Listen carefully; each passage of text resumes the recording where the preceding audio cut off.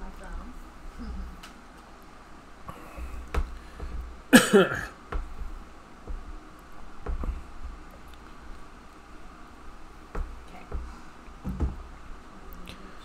Okay, I would like to do the best I can in talking about the subject of forgiveness.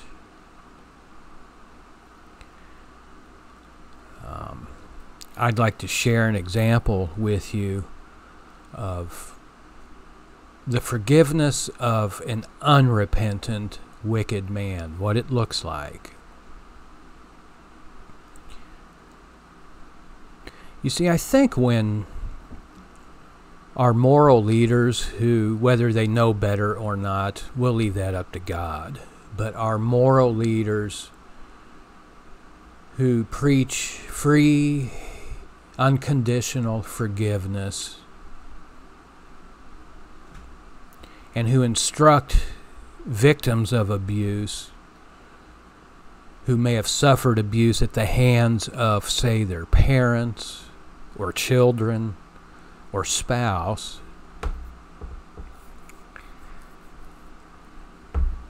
they will exhort these victims to forgive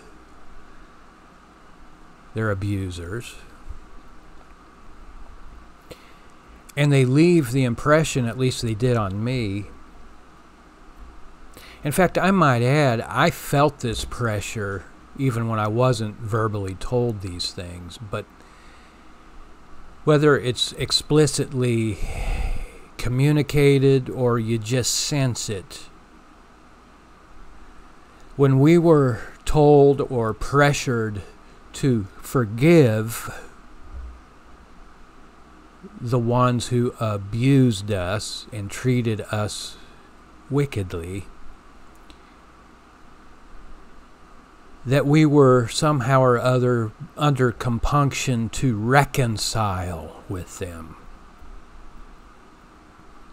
to live in harmony with them,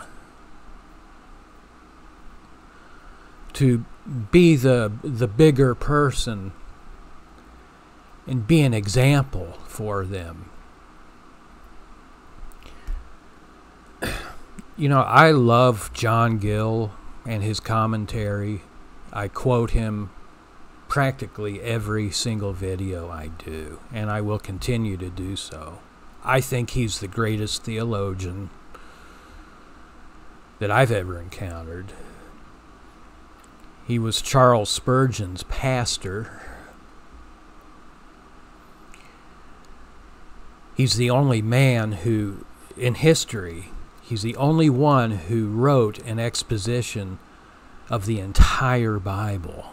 It took him his entire life to do it. But I read the other day, even he, even John Gill wrote that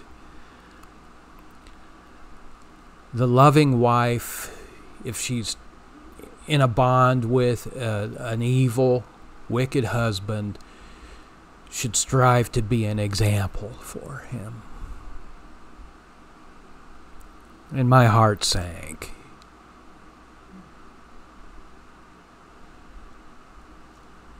This doctrine has got to go. it's not in the Bible. Not when we're dealing with reprobates, it's not.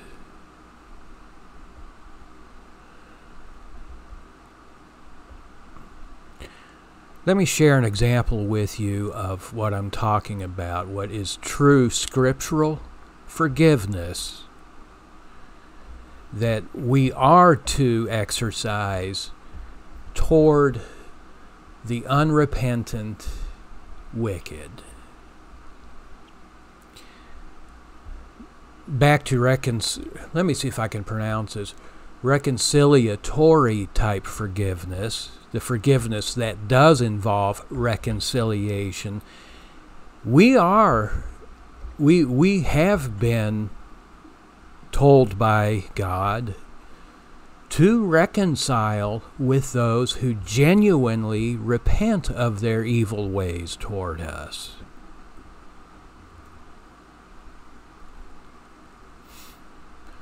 But I'll tell you right now, a malignant narcissist not only will never repent, they can't.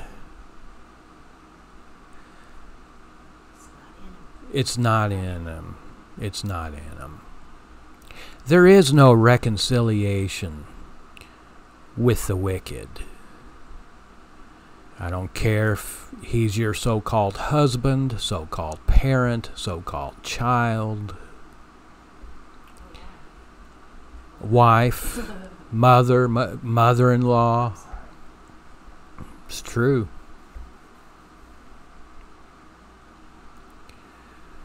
Again, I'm talking about wicked people, not people like us, sinners. We, we, I mean, every one of us sin. And, and if you think you don't, I have actually heard pre- preachers say that they've gone so many weeks without sinning. That's almost blasphemous. You put our righteousness up against the holiness of the Creator. and you'll realize, yeah, we, we sin every second.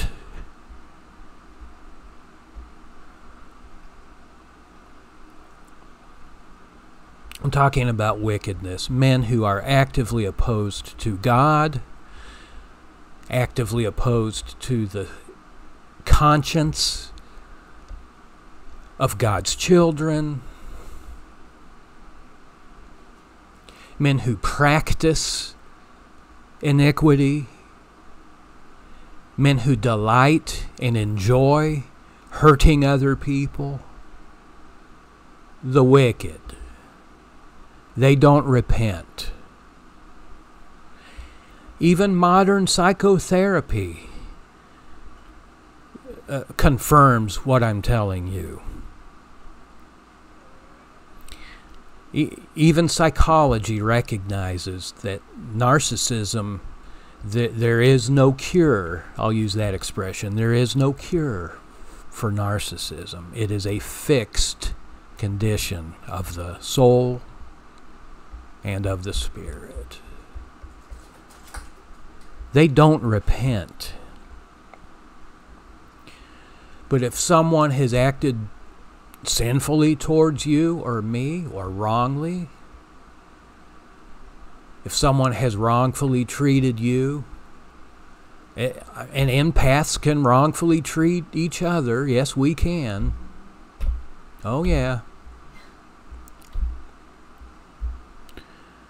But we still have the capacity to, to mend our ways and to recognize, yes, we even we we recognize that was wrong. That was stupid of me. That was wrong. I'm I'm I need to apologize. And I need to not do it again. That's repentance. The wicked don't like Tony just said, they don't that's not in them. You can't draw something out of somebody if it's not in them.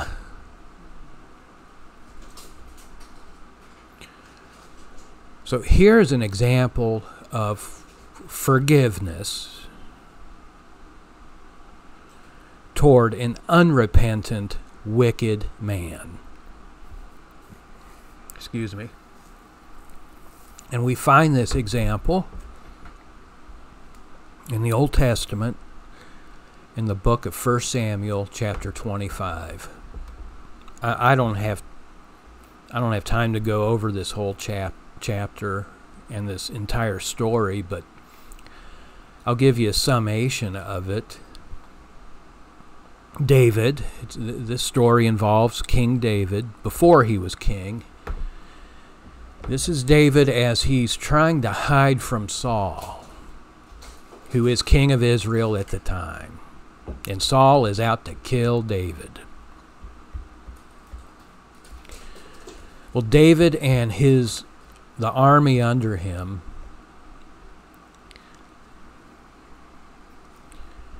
David and his men were hiding out uh, under the how can I put this? They were hiding out at a guy's house named Nabal. Nabal had Nabal is a rich guy. Nabal's a wicked man. In fact, the, the, the his name Nabal. I'll try to get this out. I'm having a hard time talking today. Even this guy's name Nabal means wicked. In the Hebrew, his name actually means wicked. Can you imagine naming your kid that? Anyway, David is hang is hiding out on the property of Nabal. Uh, apparently, Nabal is a rancher. He raises uh, sheep. I'm sure he raises other animals too. But while David is hiding out on Nabal's property, and Nabal is fully aware of this, David is doing all the work tending to this guy's sheep. He's taking care of his flocks free of charge. Nabal is fully aware of it.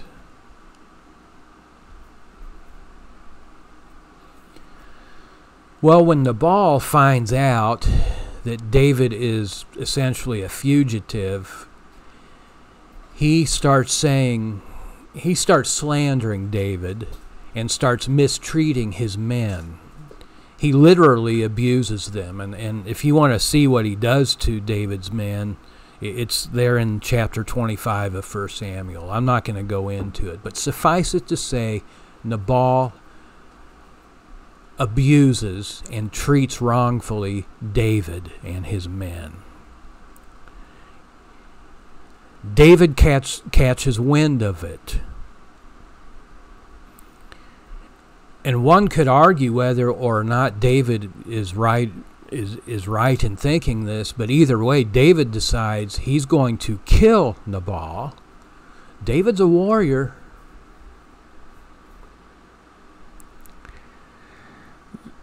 I don't know what Nabal's thinking, abusing David. David will hurt you. Yeah. Surely Nabal knew David had been anointed king at this point. He had to have known it. Abigail knew it. We're going to talk about Abigail. His wife knew it anointed by God to be king and he's still abusing him? These narcs are something else, aren't they? Brazen. Brazen. Malignant narcissists are just something else. They really are like the pigs we read about in Scripture. We're not supposed to cast our pearls before swine. I'm sure you've you've heard that or read that. Yeshua made that comment. They can't tell the difference between a pearl and a rotten piece of flesh. Malignant people can't discern the difference between the blessing of God. I'm thinking of Esau and Jacob. They can't discern the value between the blessing of God and a bowl of chunky soup. They disgust me. I want nothing to do with them. I don't care if they're family or not. They treat the things of God this way. They look at holy things this way the God who redeemed me, the God who was there for me when no one else was. And they treat him like this and his things like this. Why would I want anything to do with them?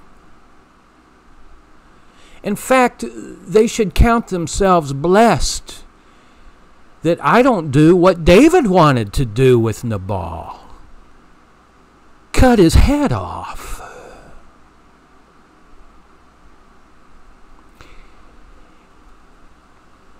And these people who tell us to forgive them and reconcile with them, They don't understand.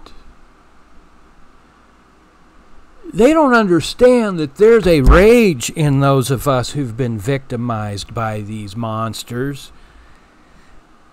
A rage so strong that there are times, I don't know about you, I can't speak for you, but myself, it would not bother me to mete out vengeance of my own on them. I do think this is a big reason why so many victims of narcissistic abuse fall, it is for me at least, why, and I do, I fall into periods of darkness and depression. It's because of unresolved rage. Do you, am I, do I speak truth, Tony?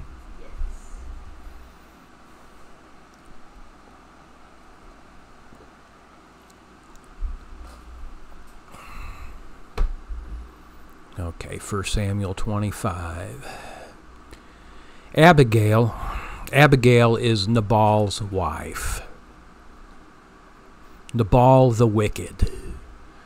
Nabal who has the gall to abuse David. You talk about swine.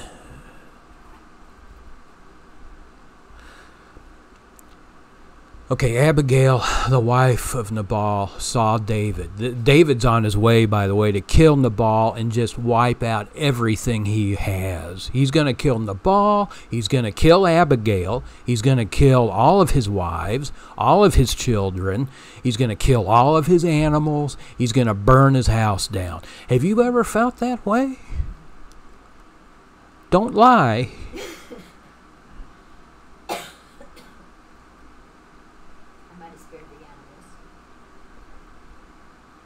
You ain't David.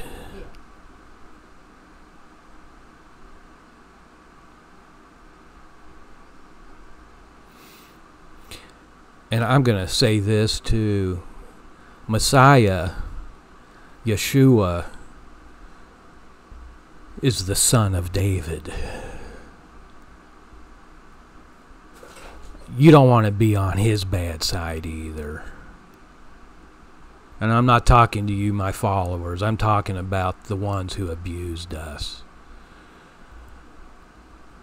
They don't want to be on his bad side either. David took his character from Yeshua, not the other way around.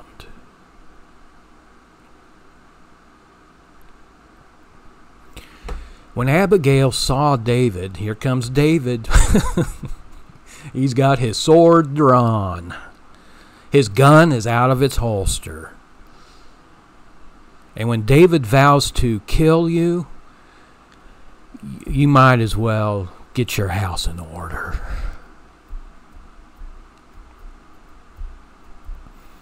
Abigail saw David and she hastened she moved quickly and flew off the donkey she was riding and fell before David, kneeling at his feet, and said, Let not my Lord, she's calling him Lord. Good thinking. Let not my Lord regard this foolish and wicked fellow Nabal, for as his name is, so is he. Wicked is his name. And Abigail continued, As the Most High lives, and as your own soul, David, lives, or your own conscience lives, seeing that God has prevented you from avenging yourself with your own hand, make a note of those words. God has prevented you from avenging yourself, committing an act of revenge with your own hand. God prevented him from doing it. Abigail's correct. Seeing that God has prevented you from avenging yourself, now let your enemies and those who seek to do evil to you be as Nabal. So Abigail already saw the writing on the wall. Abigail already saw that Nabal is toast, not at the hands of David, but at the hands of God. David was one of God's little ones.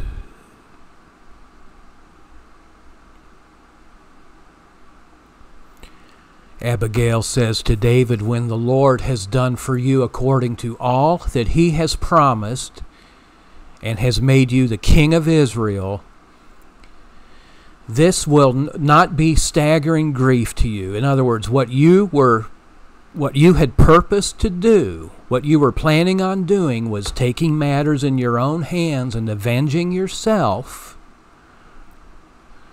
This will not be a staggering grief to you or be a cause for pangs of conscience to you. You will not experience the pain of conscience for avenging yourself. That's what Abigail, that's what Abigail told David. This will not be a burden on your conscience.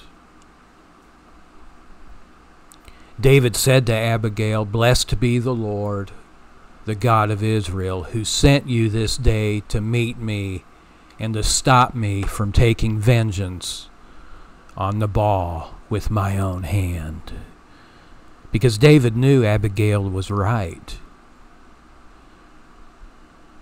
Taking out vengeance and revenge on those who harm us violates violates the will of God. And it also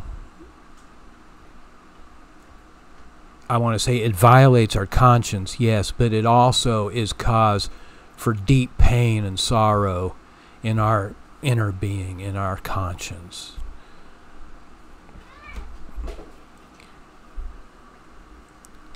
There there there is no justification before God. There is no moral justification to seek revenge on those who abused you with your own hand.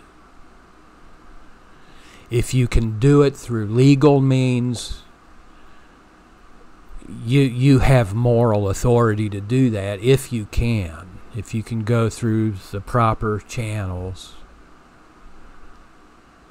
In fact, in some way, if you can, if you can do it safely. In most cases, I dare say, you can't.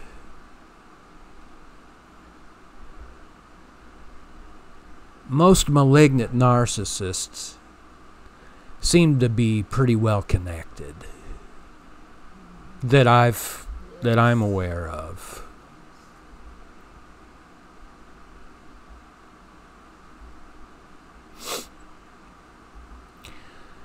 And yes, you have every moral right to self preservation. But we do not have a moral right to execute justice or judgment on others. And there's a reason for that. One reason is it lowers us, it causes us to drop in moral stature, if you will to their level. That's what defines a narcissist. They believe they have a right to execute justice in their own mind, their personal sense of justice, but either way, they believe they have every right to harm another person. And I believe God wants our conscience to be clear and clean of that type of attitude.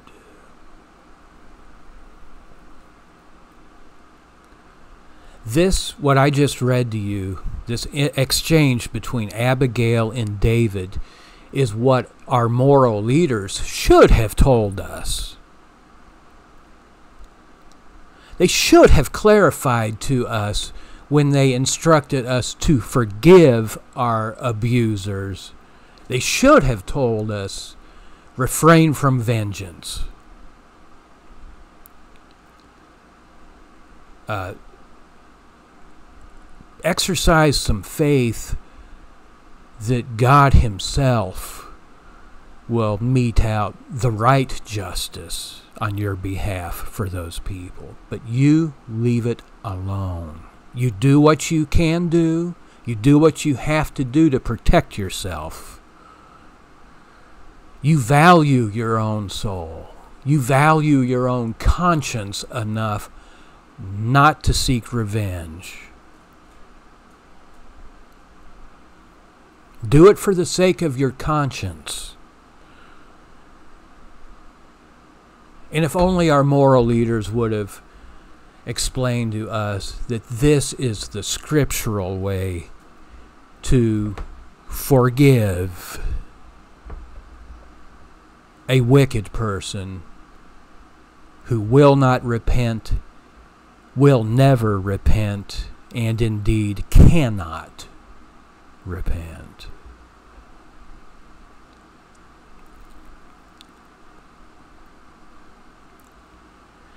That isn't what I was told, though.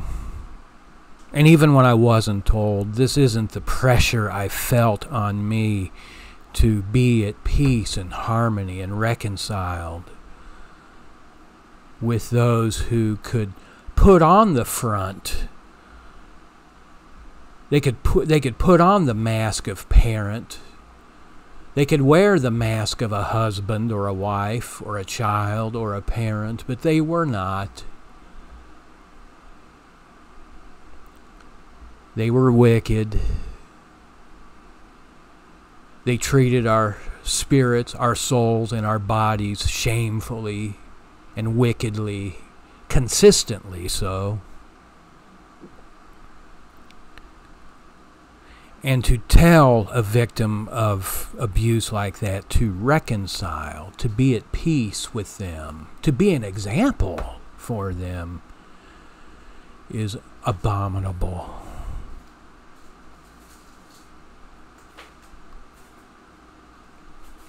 I would call that reconcil- reconciliatory forgiveness. Reconciliatory forgiveness. Which is the type of forgiveness we are under obligation to do when someone who has wronged us has earnestly and sincerely expressed sorrow and is trying to repent. I remember Jesus told one of his disciples, if someone wrongs you and they repent of it seven times, 70 times, forgive them.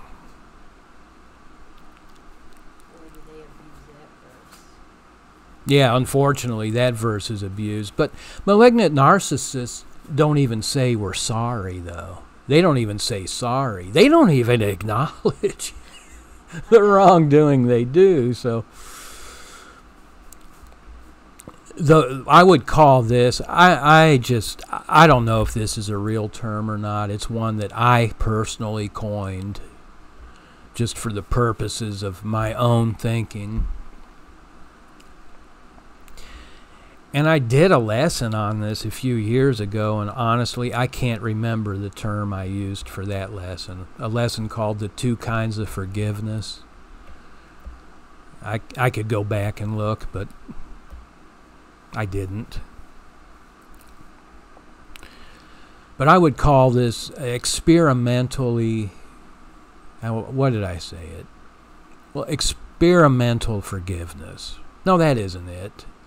Determinative forgiveness. I'm sorry. Determinative forgiveness. I'm kind of tired right now. Forgive me. Been a long week experiment, uh, determinative forgiveness, which is I. This is the forgiveness that David exercised. Uh, due to the pleadings of Abigail. This is the type of forgiveness David exercised toward Nabal. he left vengeance in the hands of God. He left Nabal alone. He quietly, in disgust probably, but he quietly walked away from the ball.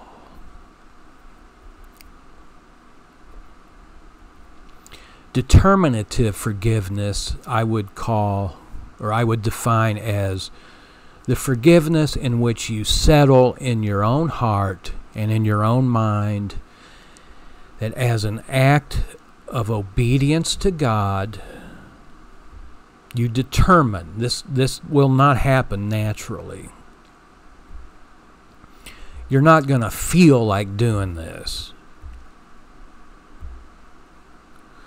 But as an act of your will, as an act of my will, I determine to leave vengeance and retribution uh, into the hand in the hands of God as an act of obedience to God and also in honor and in respect and in reverence to my own inner being, my own conscience. to keep my own conscience clear and sound, I refrain from exercising retribution on my enemy. I forgive them.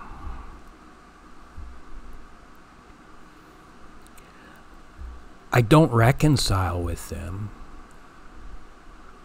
I don't pray for them.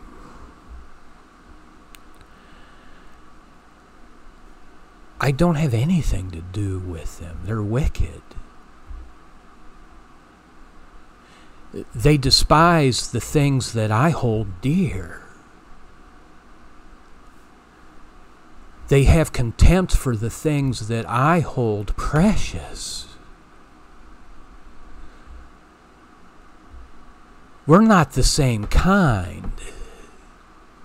They're darkness. I'm light. There's no reconciliation there. So if I'm under pressure to forgive in a reconciliatory way, um, I need to tell the source of that pressure to go away. You are telling me to do something that violates my own conscience. And that leads me to something else, if you'll permit me to talk about this. Let me find that verse. 2 Corinthians 5:11. This is an amplified classic. 2 Corinthians 5:11. Paul writes the Corinthians and says, "What sort of persons we are is plainly recognized and thoroughly understood by God. God knows what kind of people we are." I also hope that the kind of persons we are is recognized and understood by your conscience, not consciousness, conscience. And the Amplified reads this your inborn discernment. 2 Corinthians 5:11 in the Amplified Classic calls our conscience our inborn discernment.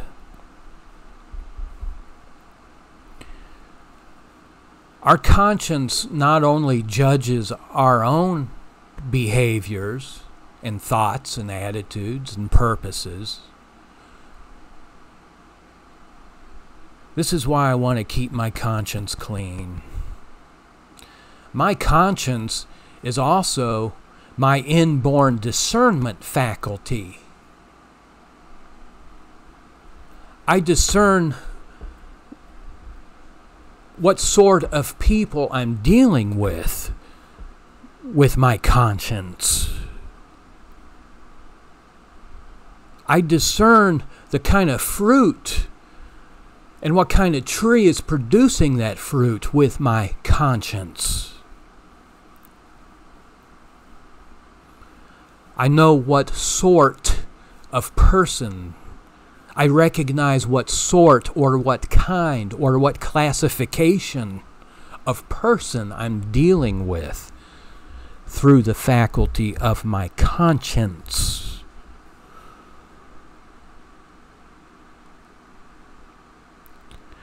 But all the stories, I see, I never went to church counseling. I at least had that much sense. And I'm not dogging people who did either. No, no, I'm not dogging them at all, but I'm thankful I did not. But these counselors, these moral authorities that tell people what to do without even inquiring of them first, what is your conscience telling you to do? Has anyone ever asked you that? Any counselor? Any advisor? Did anyone ever ask you, hey, Tony, uh, before I counsel you on the direction you could take, let me ask you, what is your inborn discernment telling you? Did anyone ever tell you that? No. I was never counseled that way or advised that way. Of course, you know. I've never heard of anyone counseled that way. We're the first question. What's your conscience telling you?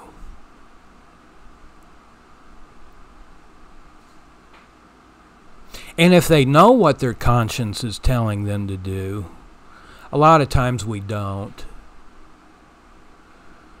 There's so many different ideas, you know, filling our head because we're trying to do the right thing under God. That it's hard to connect to our inborn discernment and see what our conscience is attempting to communicate to our consciousness.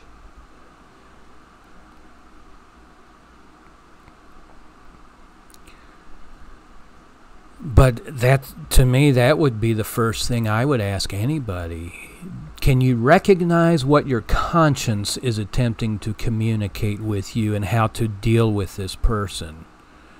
Is your conscience telling you revealing to you what sort of person you're dealing with. And if your conscience is communicating to you this person is wicked and evil and malignant, you already know what to do. According to Scripture, you already know what to do. Because verse after verse after verse after verse tells you you need to cut them off.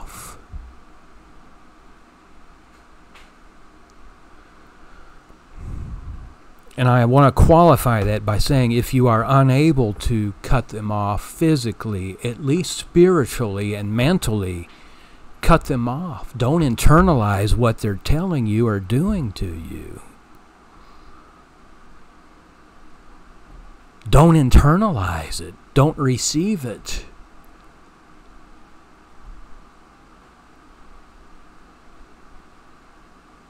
It's falsehood.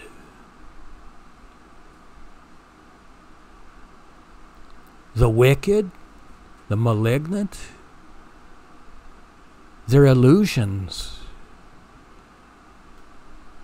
The part of the malignant that appears to uh, you know, care and, and be rep- repentant and promises you to change if you get to that point. Even most of them, you can't even get to that point with. It's all an illusion. Any goodness, that's what I'm trying to say, any quote goodness you see coming from a malignant person is bunk. Am I making sense? Am I? Okay. Okay. I think I'm going to stop here. Um, two kinds of forgiveness. One kind is for people who actually do repent. One type of forgiveness is for someone who is what we call an empath, a person who does have a conscience, who, who missed it when they treated you wrong. And that is rec- uh, Reconciliatory. reconciliatory forgiveness. I have a hard time with that. For those who do genuinely repent. And the type of forgiveness for those who do not repent and will not repent is determinative forgiveness. The type of forgiveness where you settle in your heart to leave vengeance in the hands of God for the sake of your conscience. Amen. Thank you.